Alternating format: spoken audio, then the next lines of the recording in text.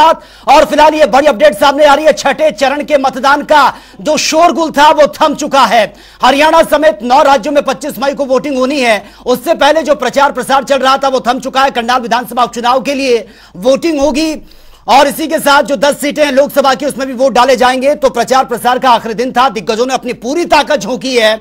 महेंद्रगढ़ में PM Modi rally को संबोधित करते हुए नज़र आए। चुनावी हुंकार उन्होंने वहाँ से भरी और विपक्ष पर जमकर बरसते हुए भी नज़र आए। सिरसा, पानीपत में प्रियंका गांधी, वाड्रा, उनका भी धुआंधार प्रचार प्रसार देखने को मिला।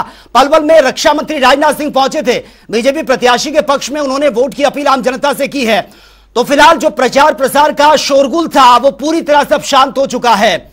और इससे पहले की तस्वीरें हमने देखी हैं कि किस तरह से एडी चोटी का ज़ोर पार्टियाँ लगाई हुई थी। और जनता के मन को टटोलने के लिए, जनता के विश्वास को जीतने के लिए सभी ने अपनी अपनी बातें जनता के सामने रखी हैं। किसी ने अपने दस साल की उपलब्धियाँ गिनवाई तो किसी ने उस पर कटाक्ष किया। तो तमाम पार्टियाँ आम जनता को रिझाने के लिए पुरजोर कोशिशों में लगी हुई थी, लेकिन अब यह प्रचार प्रसार पूरी तरह से थम चुका है। तो फ़िलहाल ये बड़ी खबर से आपको अपडेट करा रहे हैं। छठे चरण के मतदान के लिए चुनावी शोर पूरी तरह से थम चुका है।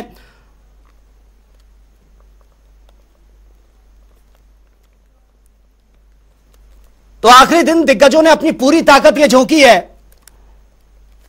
और फ़िलहाल जो प्रचार प्रसार है, वो थम चुका है और इससे पहले की तस्वीरें हमने देखी। तमाम जो बड़े बड़े स्टार प्रचारक थे बड़े बड़े जो दिग्गज थे, वो पहुँचे।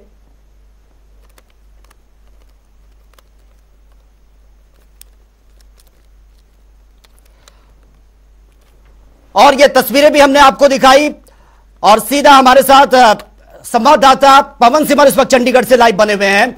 पवन, प्रचार प्रसार का ये आखिरी दिन था और 25 तारीख को वोटिंग होनी है। उससे पहले हमने तस्वीरें देखी, बहुत हाई लेवल पर। या फिर ये कहें कि जनता को रिझाने के लिए सभी पार्टियों ने एडी चोटी का जोड़ लगाया। फ़िलहाल प्रचार प्रसार का जो शोरगुल था वो थम चुका है। अब किस तरह के इंस्ट्रक्शंस पार्टियों को दिए गए हैं? आगे किस तरीके की तैयारियाँ? आ, बिल्कुल देखिए प्रदेश में आ, जो चुनाव है वो 25 मई को होना है। यानी जो छठे चरण का देश में जो मतदान होना है उसमें हरियाणा की 10 लोकसभा सीटों के लिए और एक करनाल विधानसभा के उपचुनाव के लिए वोटिंग होनी है।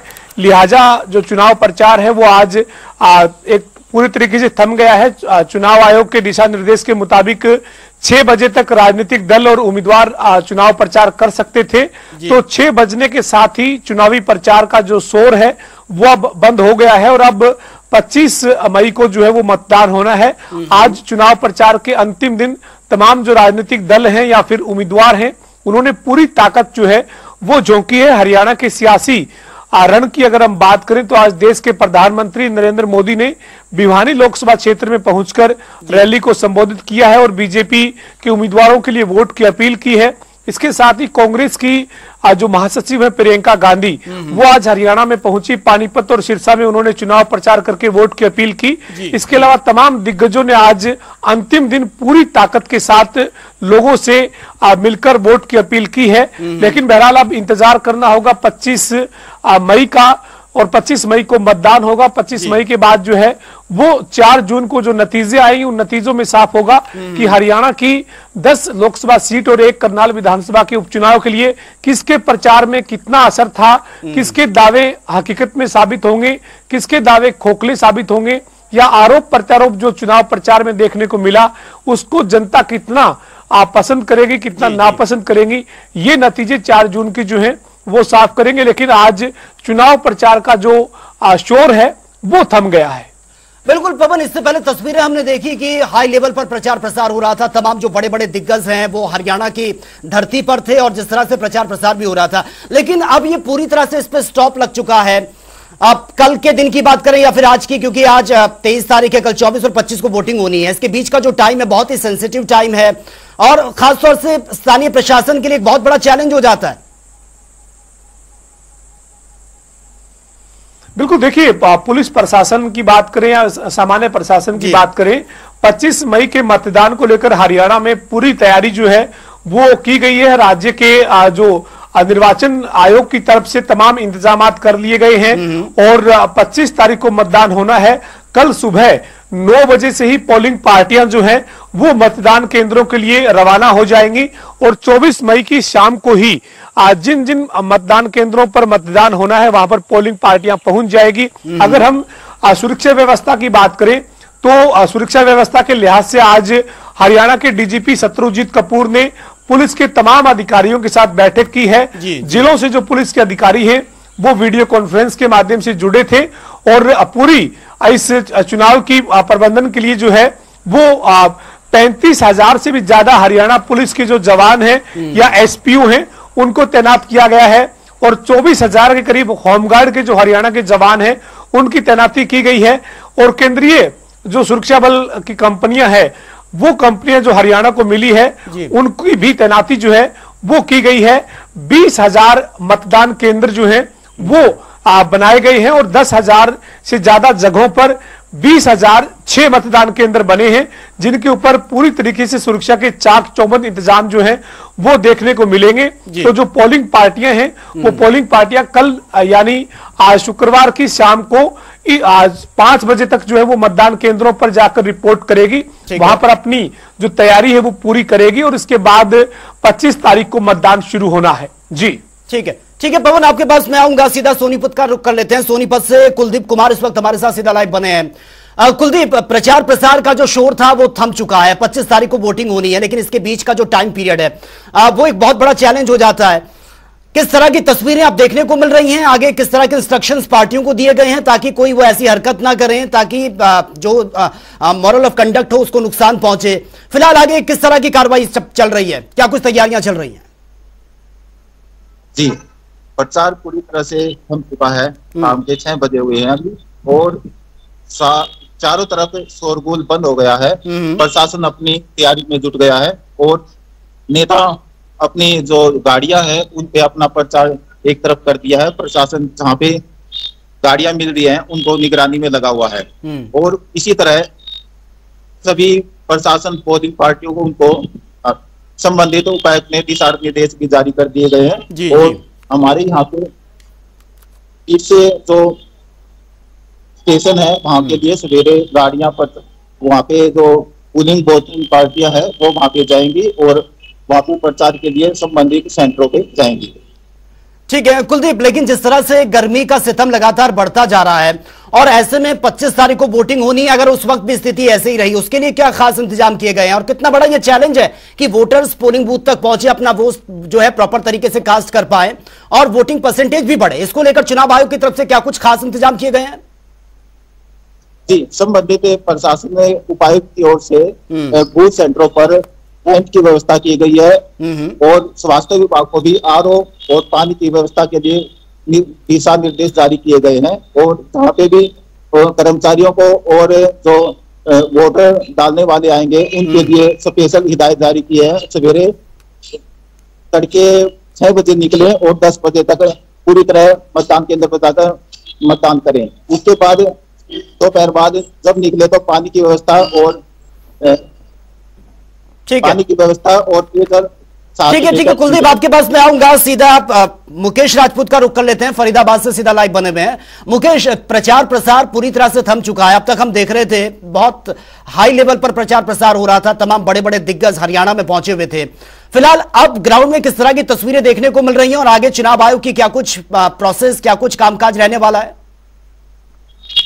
देखिए सचिन बिल्कुल क्योंकि लोकसभा दो हज़ार चौबीस का चुनाव है और इस चुनाव को लेकर के तमाम जो पार्टियाँ हैं वो हम्म। मैदान में थी हमने देखा कि जो है वो पर लगातार जो है वो चुनाव प्रचार का शोर नज़र आ रहा था। हर हाथ में बात कर गति में बात करें तो लगातार अलग अलग पार्टी के जो उम्मीदवार थे या कार्यकर्ता थे वो पुरजो कोशिश में जुड़े जुटे हुए थे और लगातार जो है वो चुनाव प्रचार किया जा रहा था। बड़े बड़े दिग्गज जो है वो कहीं ना कहीं चुनाव प्रचार में पहुँचे फरीदाबाद लोकसभा में क्योंकि दो दिग्गज बड़े जो नेता है वो कहीं ना कहीं चुनाव लड़ रहे चाहे बीजेपी के हम कृष्णपाल गुजर की बात कर रहे हैं कांग्रेस से हम महेंद्र प्रताप की बात कर रहे हैं तो दोनों ही दिग्गज हैं और ऐसे में दोनों ही दिग्गजों ने जो है वो एडी से छोटी तक का ज़ोर पूरा इस लोकसभा चुनाव जो है वो प्रचार में लगा दिया था। और ऐसे में बड़े बड़े दिग्गज चाहे हम जो है वो उत्तराखंड के जो सीएम है धामी उन वो भी यहाँ पर प्रचार चुनाव प्रचार के लिए पहुँचे। भूपेंद्र सिंह हुड्डा कांग्रेस तरफ़ से पहुँचे थे। इसके अलावा राजनाथ ने जो है वो आज जो है वो जनसभा को संबोधित किया था तो लगातार कहीं ना कहीं चुनाव प्रचार बहुत तेज़ी से जो है वो चल रहा था और अचानक आज शाम को छह बजे क्योंकि छह बज चुके हैं और अब जो चुनाव प्रचार का शोर है वो पूरी तरीके से थम गया है और अब जो है वो इंतज़ार है क्योंकि तमाम लोगों को इंतज़ार है अब वोट डालने का क्योंकि 25 तारीख को सुबह सात बजे से और छह बजे तक शाम को छह बजे तक जो है वो। वोटिंग होनी है इसकी तैयारियों को लेकर प्रशासन ने पहले ही कमर कस ली है जो बूथ बनाए गए हैं उनमें तमाम व्यवस्थाओं का विशेष तौर पर ध्यान दिया गया क्योंकि गर्मी का मौसम है और ऐसे में लोगों को परेशानी ना हो तो इससे पहले लोगों से अपील भी लगातार जो है वो जिला प्रशासन की ओर से की जा रही है कि सुबह ही ठीक है मुकेश आपके पास मैं आऊँगा। फ़िलहाल ये बड़ी खबर से अपडेट करा देते हैं अपने दर्शकों को। ये इलेक्शन ब्रेकिंग बड़ी सामने आ रही है अभी और ये इलेक्शन को लेकर प्रदेश के वरिष्ठ पुलिस अधिकारी शामिल हुए हैं। और फ़िलहाल बड़ी अपडेट यही है कि प्रचार प्रसार थम चुका है। प्रदेश भर के वरिष्ठ पुलिस अधिकारी बकायदा शामिल हुए हैं। मंथन आगे ये चल रहा है। वीडियो कॉन्फ्रेंसिंग के ज़रिए विस्तार से चर्चा भी हुई है। और तमाम रिपोर्टर्स भी इस वक्त ग्राउंड ज़ीरो से हमारे साथ बने हुए हैं। संजय कुमार रोहतक से सीधा हमारे साथ लाइव बने संजय सवाल मेरा आपसे है क्योंकि प्रचार प्रसार तो थम चुका है। आगे किस तरह की अब प्रोसेस नज़र आ रही है ग्राउंड पर? देखिए सचिन जिन गलियों में काफ़ी आवाज़ें जो आती थी और लोगों को काफ़ी शोर सुनने को मिलता था आज वो जो रोड जो है वो सुनसान दिखाई देंगे। पहले एक बार अपने दर्शकों को हम वो नज़ारा दिखाएँ। देखिए ये रोहतक का वो मेन बाज़ार है जहाँ पर जो है अक्सर किसी न किसी पार्टी का जो है लाउड स्पीकर यहाँ पर अपनी जो है प्रत्याशी और अपने जो पार्टी का प्रचार प्रसार जो है जी, वो जी। कर रहा था। और देखिए कितना शोरगुल जो है दो लगभग दो महीने से जो है शोरगुल जो यहाँ पर हो रहा था। और लोगों को भी काफ़ी परेशानी का सामना करना पड़ता था लेकिन अब जो है वो शोरगुल बिल्कुल पूरी तरह से बंद हो चुका है और भोपू जो है पूरी तरह से बंद हो चुका है और स्पीकर जो है पूरी तरह से जो है उसको गाड़ियों से उतार दिया गया है। जो थ्री व्हीलर अभी मैंने जो मेरे पीछे जो दिखाया है उस पर जो है उस ऑटो पर जो है स्पीकर लगाया गया था। लाउड स्पीकर अब पूरी तरह से उतर गए क्योंकि छह बज गए हैं। चुनाव आयोग की सख्त हिदायतें हैं। छह बजने के बाद कोई भी पार्टी या कोई प्रत्याशी जो है अपना चुनाव प्रचार नहीं जो करता मिले। तो ऐसे में कहीं ना कहीं छह बजे से पहले जो है सुबह से ही आज जो प्रत्याशी लग गए थे चुनाव प्रचार में अपने अपनी पार्टी को जो है जिताने में लगे थे। हालाँकि आपने जो कहा कि कैसा माहौल रहने वाला है तो उसका जवाब भी मैं आपको देना चाहूँगा कि देखिए जैसे जैसे समय आता जाएगा वोट को लेकर अब भोपू तो बंद हो गई लेकिन मैदान में उतर कर प्रत्याशी प्रत्याशी जो है इक्का दुक्का जो है वो ज़रूर कॉलोनियों में जाएँगे लोगों के पास जाएँगे और जो है वोट की अपील ज़रूर करेंगे क्योंकि ये दिन जो है बड़े विशेष रणनीति के दिन होते हैं और जैसे ही जो है पच्चीस मई का दिन आता है और वोट शुरू हो जाती है तभी बिल्कुल जो है संजय वो डोर टू डोर प्रचार है और उसकी बहुत सख्त मॉनिटरिंग भी होती है। चलिए आपके पास मैं आऊँगा संजय। पवन सिवर भी हमारे साथ बने हुए। पवन जिस तरह से प्रचार प्रसार तो थम गया अब तैयारियाँ आगे की हो रही हैं लेकिन जो गर्मी है सितम ढा रही है वो उसका कहीं ना कहीं इंपैक्ट पड़ सकता है क्योंकि हम देखते हैं कि वोटर्स या तो मॉर्निंग के समय या फिर इवनिंग के समय ही अपना वोट कास्ट करने के लिए निकलते हैं। यहाँ क्या खास इंतज़ाम किए गए हैं ताकि लोगों को परेशानी ना हो? और खासतौर से जो फ़िज़िकल डिसेबल लोग होते हैं उनके लिए क्या कुछ प्रबंध किए गए हैं? हाँ बिल्कुल देखिए भारत के चुनाव आयोग की तरफ़ से जो दिशा निर्देश है उन दिशा निर्देशों के चलते हरियाणा निर्वाचन आयोग की तरफ़ से 25 मई को जो हरियाणा में छठे चरण के लिए मतदान होना है उसके लिए पर्याप्त इंतज़ाम किए गए हैं चूँकि जो आ, तापमान है वो बढ़ा हुआ है गर्मी पूरा जो सितम है वो ढा रही है ऐसे में पर्याप्त इंतज़ाम जो है वो मतदान केंद्रों पर किए गए हैं।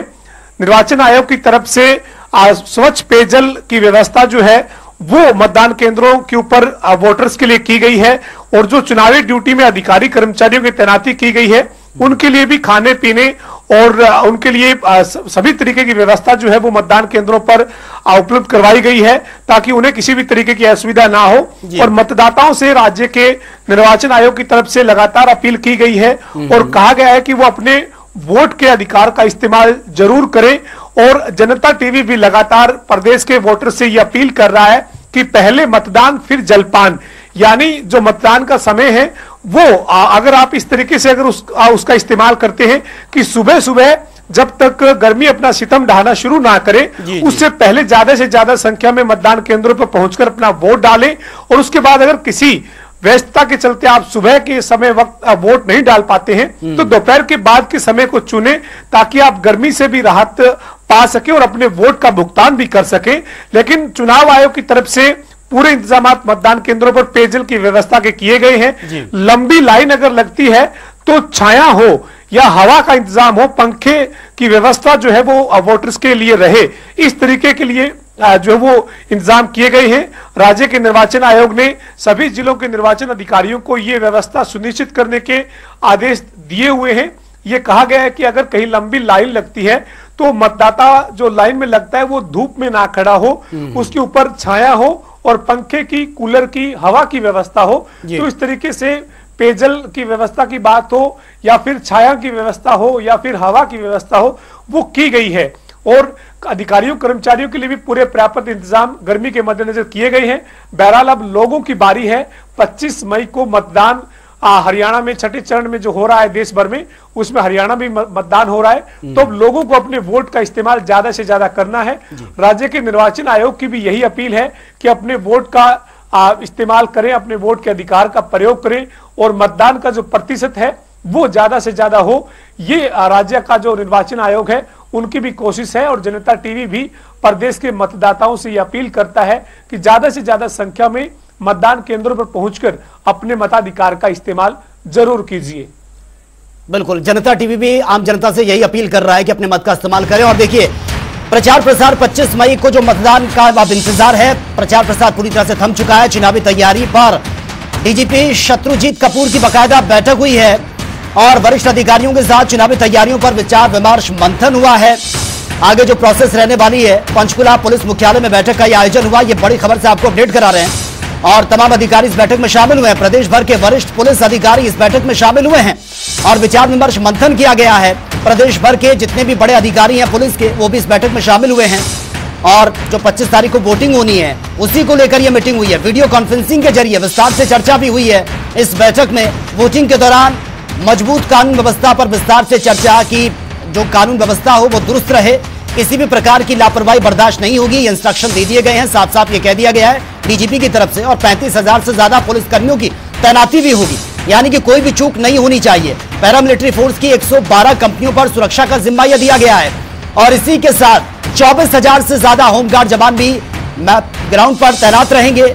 वो भी कानून व्यवस्था को संभालने में अपनी ज़िम्मेदारी निभाएँगे और बीस हज़ार छह मतदान केंद्रों पर ये वोटिंग होनी है। पवन सिबर इस वक्त हमारे साथ सीधा लाइव बने हुए हैं। पवन, सुरक्षा के लिहाज से भी बकायदा जो बैठक हुई है, उसमें इंस्ट्रक्शन दे दिए गए हैं कि लापरवाही बिल्कुल भी बर्दाश्त नहीं होगी और जिसकी ड्यूटी जहाँ लगाई गई है, वो बहुत ईमानदारी से अपनी ड्यूटी को निभाए। सुरक्षा के लिहाज से बहुत ज़्यादा ज़रूरी हो जाता है।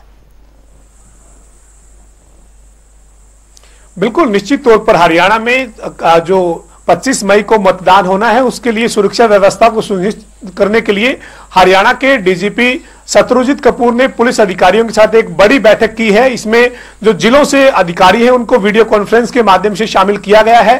पूरे प्रदेश में मतदान शांतिपूर्वक तरीके से हो मतदाताओं के लिए किसी भी तरीके की कोई असुविधा ना हो इसको लेकर ज़रूरी हिदायतें जो है वो जारी की गई है। डीजीपी शत्रुजीत कपूर ने साफ़ तौर पर आदेश दिया है और ये कहा कि कोई भी पुलिस अधिकारी जिसके पास जो ज़िम्मेदारी है उसके बारे में स्पष्ट रहे। बाद में इस तरीके का बहाना या एक्सक्यूज ना रहे कि मुझे स्पष्ट आदेश नहीं थे। जो आदेश दिए गए हैं वो स्पष्ट आदेश हैं।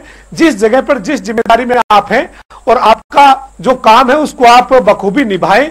और साथ ही डीजीपी ने कहा है कि पैंतीस हज़ार हरियाणा पुलिस के जवान जिसमें एसपीओ भी शामिल है उनकी तैनाती की गई है। चौबीस हज़ार होमगार्ड के जो जवान है उनको तैनात किया गया है। 112 केंद्रीय अर्धसैनिक बलों की जो कंपनियाँ हरियाणा को चुनाव के लिए मिली है, उनकी तैनाती रहेगी। पूरी तरीके से इंतज़ाम जो है वो चुनाव को शांतिपूर्ण ढंग से निपटाने के लिए किए गए हैं और प्रदेश में बीस हज़ार छह मतदान केंद्र बने हैं। जो जगह है वो दस हज़ार है, लेकिन मतदान केंद्रों की संख्या बीस हज़ार छह है। तो उनके ऊपर शांतिपूर्ण तरीके से मतदान हो, इसके लिए पूरी व्यवस्था जो है वो चाक चौबंद की गई है। बिल्कुल सुरक्षा व्यवस्था को लेकर बहुत पुख्ता इंतज़ाम किए गए हैं। बकायदा इंस्ट्रक्शन भी दे दिए गए हैं कि किसी भी प्रकार की कोई भी लापरवाही बर्दाश्त नहीं की जाएगी। ठीक है, पवन, आपके पास मैं आऊँगा। संजय इस वक्त हमारे साथ बने हुए हैं। संजय, फ़िलहाल सुरक्षा के लिहाज से अगर देखें तो किस तरह से ग्राउंड पर तस्वीरें देखने को मिल रही है, जहाँ पर पोलिंग बूथ बनाए गए हैं, लोग वोट डालने के लिए जाएँगे। वहाँ पर सुरक्षा के क्या इंतज़ाम है? क्योंकि धूप बहुत ज़्यादा है, परेशानी नहीं होनी चाहिए वोटर्स को। देखो, सचिन, देखिए प्रशासन ने पहले ही पुख्ता प्रबंध जो है वो किए हुए हैं, क्योंकि सबसे पहले यही लोगों की दिक्कतें जो थी क्योंकि जो तापमान है वो टेम्परेचर है वो लगातार बढ़ रहा है तो ऐसे में कहीं ना कहीं लोगों को जो है खासी दिक्कतों का सामना करना पड़ता था। और अक्सर जो है पहले भी देखा गया लेकिन इस साल जैसे गर्मी पड़ रही है उसको लेकर प्रशासन पहले ही अलर्ट मोड में दिखाई दे रहा है और ऐसे में जो है जहाँ पर बूथ बनाए गए हैं मतलब लगभग अठारह सौ पिचासी के करीबन बूथ जो है वो रोहतक लोकसभा में बनाए गए तो कहीं ना कहीं उन पर पानी की व्यवस्था जो है पूरी तरह से जो कर दी गई है और उसके उसके बाद जो है कहीं ना कहीं सुरक्षा कर्मी पूरी तरह से तैनात कर दिए गए हैं। और अभी मैं आपको बताना चाहूँ जैसे मेरे सहयोगी पवन शिविर ने बताया कि पैरामिलिट्री फोर्स की जो टुकड़ियाँ हैं वो तैनात रहेंगी। पैरामिलिट्री फोर्स तैनात रहेगी। पुलिस जो होम गार्ड है अ, प- पूरी मात्रा में तैनात रहेंगे। सेंसिटिव और अनसेंसिटिव जो अति संवेदनशील जो बूथ है उन पर भी कड़ी जो है नज़र रखी जाएगी। तो ऐसे में कहीं ना कहीं पुलिस प्रशासन पूरी तरह से जो है अलर्ट दिखाई दे रहा है। जैसे डीजीपी ने अब आज अधिकारियों से मीटिंग ली है और स्पष्ट तौर पर उनको निर्देश दिए कि किसी भी अधिकारी या कर्मचारी की लापरवाही बर्दाश्त नहीं की जाएगी। उसी को लेकर कहीं ना कहीं अधिकारी और जो कर्मचारी है वो भी अलर्ट मोड में दिखाई दे रहे हैं और जो बूथ है वहाँ पर पुख्ता जो है प्रबंध जो है प्रशासन की तरफ़ से किए गए ताकि देश का मतदाता है लोकतंत्र है लोकतंत्र में वोट करने का अधिकार सबको हो और आराम से जो है अपने मत का प्रयोग कर जो है कर सकते हैं। तो ऐसे में जो है पुलिस अधिकारी के द्वारा जो है सख्त जो एक लहजे में ये ये कहे कि एक निर्देश भी दिया गया है लोग उन आरोपियों को जो कि अक्सर देखा जाता है कि दबंगई जो है चुनाव में आकर करते हैं तो उनको ले एक, एक जो है ये ये कहें कि एक सख्त लहजे में संदेश है कि अब की बार किसी प्रकार की कोई। गड़बड़ी नहीं होनी दी जाएगी। और मतदाताओं से भी अपील जो है बार बार की जा रही है कि आप लोग सुरक्षित है किसी प्रकार का कोई डर नहीं है आप अपने मत का प्रयोग खुले तरीके से जो है दिल से कर सकते हैं और किसी से डरने की ज़रूरत नहीं है। तो ऐसे में कहीं ना कहीं प्रशासन जो है लोगों को एक मैसेज जो है स्पष्ट तौर पर देता नज़र आ रहा है। क्योंकि चुनाव के समय में अक्सर देखा जाता है कि कुछ पार्टियाँ जो है अलग तरह के जो है तरीके अपना लेती हैं बूथों को कैप्चर करते हैं बूथों पर जो दबंगाई करते हैं तो कहीं ना कहीं जो कुछ अधिकारी हैं वो भी लापरवाही करते हैं। तो ऐसे में कहीं ना कहीं प्रशासन जो है सख्त लहजे में जो है आप ये संदेश देता नज़र आ रहा कि